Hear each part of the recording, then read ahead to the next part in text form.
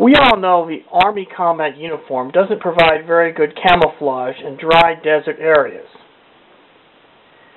Dry areas like this are full of light tan and browns, yet the Army camouflage uniform has too much green, light green, and gray tones inside.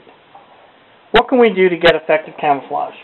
The good news is Tru-Spec makes an Army combat uniform in multicam.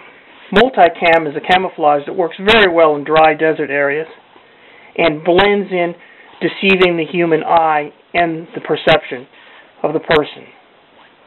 It is an Army combat uniform. It has places for you to put your name tape, organizational name tape, and your rank. So you will look Army kosher in an Army combat uniform in multicam camouflage. It also works. Once you're in a multicam ACU, you then drape over the top with your load-bearing equipment or your body armor flak jacket. If it's a tan, it will not disrupt the camouflage effect of the multicam, which is actually the best. Not the absolute best. The absolute best would be a multicam load-bearing equipment. But if you have tan, you can see how it looks.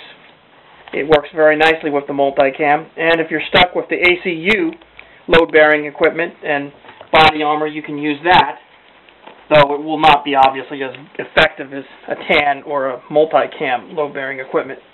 A boonie cap and a helmet cover made of multicam material. Again, if you have a tan sun, wind, dust goggle cover, it will work nicely with the camouflage and not com compromise it.